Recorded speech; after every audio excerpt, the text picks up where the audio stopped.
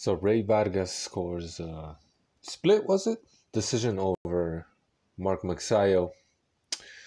And a well deserved one, in my opinion. But it looks like maybe Mark had one judge in his corner. Didn't think the fight was terribly close, but it was very competitive. Wasn't scoring it round by round, but it felt like Vargas was just a little bit ahead in more than enough rounds to take this one. Both guys, as predicted, came out punching.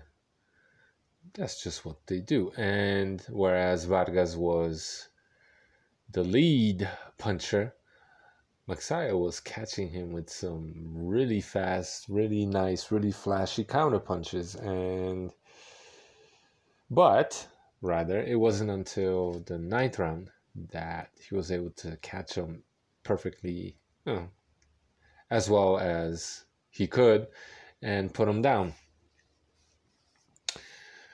So, you know, Magsayo looked good for his part, looked better to me than in any other fight that I've seen. He really stepped it up, quickened up his feet, his hands, his timing looked good.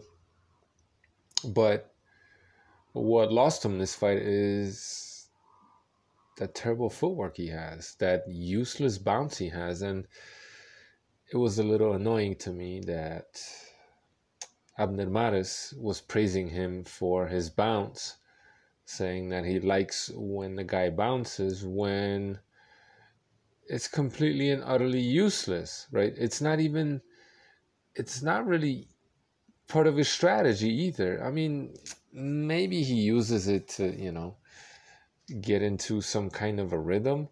But if that's the case, then that's exactly what makes him easy to time, right? Because look, when he's bouncing, right?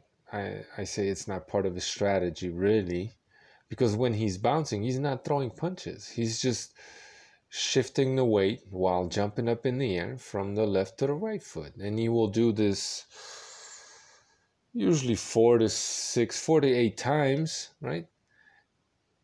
In the same place, in the same spot, and then he'll come forward or move back or whatever, right?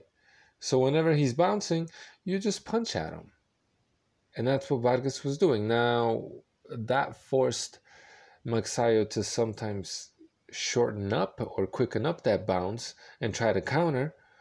But it's that, you know, there was always that split second delay that made it ineffective. Even though he was, Vargas was forcing him to stop bouncing because he was throwing punches at him. And Magsayo was answering, but it was just a split second too late, right? And him being a counterpuncher, looking to time you, timing, right? It's all about timing, and that's uh, it, it's so frustrating watching these guys bounce and just waste energy, right? The commentators remarked that he looked tired. Yeah, because three rounds of every 12 round fight, he's just uselessly bouncing up and down for no reason, right? And so, again, when he's bouncing, that's when you punch at him if you're in range or you time you know that as soon as he stops bouncing right? When he's not bouncing in other words that's when he's throwing. So the window in which he will be throwing punches at you right? The time frame is at least it seems like it to me anyway 30% to 40% shorter than it normally would be right if he were just staying planted or gliding or, or shuffling his feet, right? So that gives you time to relax a little bit. And that tells you exactly when he's going to attack you or the time frame within which he will attack you, right? So so that allows you to you know, set your feet, maybe get an angle, uh, take a little bit of a breather, readjust yourself, right? Refocus, whatever. That gives you the opportunity to prepare yourself mentally and physically, right? Tactically. And then when Magsayo stops bouncing, then you go to work, right? And in that little instance where he stops bouncing and starts advancing forward to get at you, right? Because you're the taller, rangier guy, he has to come to get at you. Soon as he does that, that's when you punch at him, or you punch at him when he's bouncing, or you punch at him when he stops punching and starts to bounce, right? Or when he's coming at you, you feign him, which makes him bounce in many instances, and Vargas was doing this, right?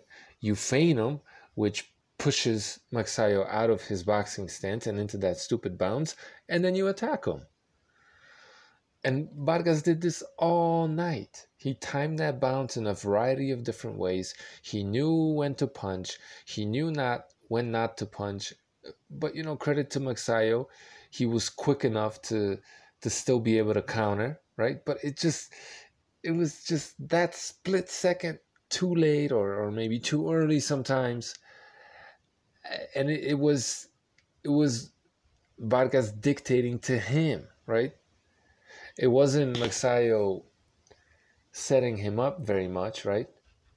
Or being planted, waiting for Vargas to attack him, and then just quickly reacting to it, right? He always had to deal with this bounce of his, which slowed him down just enough for for him not to be able to hit Vargas perfectly. And when he did hit him really, really, really well, it still wasn't. It was just you know that split second off from being perfect. But the the chin to power ratio was definitely in favor of Magsayo, even though both guys were swinging for the fences, sitting down on their punches, committing to their shots, right? Um, and he had the stylistic advantage because counter punchers beat boxers, right? Boxers open up, counter punchers wait, right? They play defense with everything else being equal, right? They play defense and then they counter you when you're opening up and you're def- not defenseless, but you're open. So that's why counter punches beat boxers with everything else being equal. But it wasn't equal because Vargas is the more skillful guy. And even though Magsayo had the chin to power ratio advantage, skill won this fight because skill took just enough off of Magsayo's shots and timing and power and accuracy and all of that where he couldn't deliver that knockout blow. So I said he had a puncher's chance, and it sure looked like it, but little more than that, right?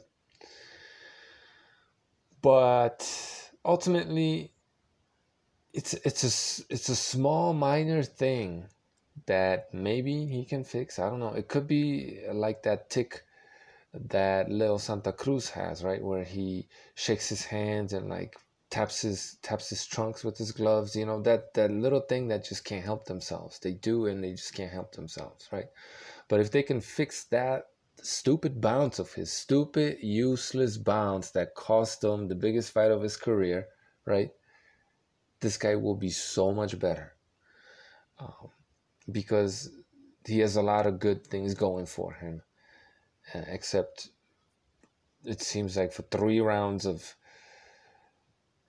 every fight he's absolutely and utterly useless and a sitting duck. You know what I mean? And it's not like it's three rounds in a row where he just starts to fight three rounds down or uses loses three rounds no matter what, right?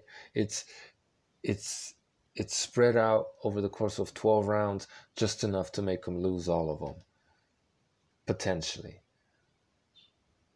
right and he can if if he can take that out and completely fix it, he will stand a much better chance of winning all 12 and knocking a lot of guys out.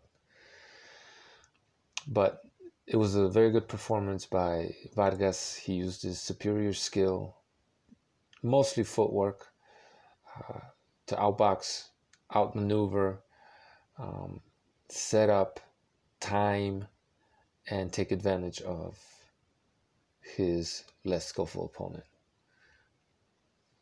That's my video. Thanks for watching.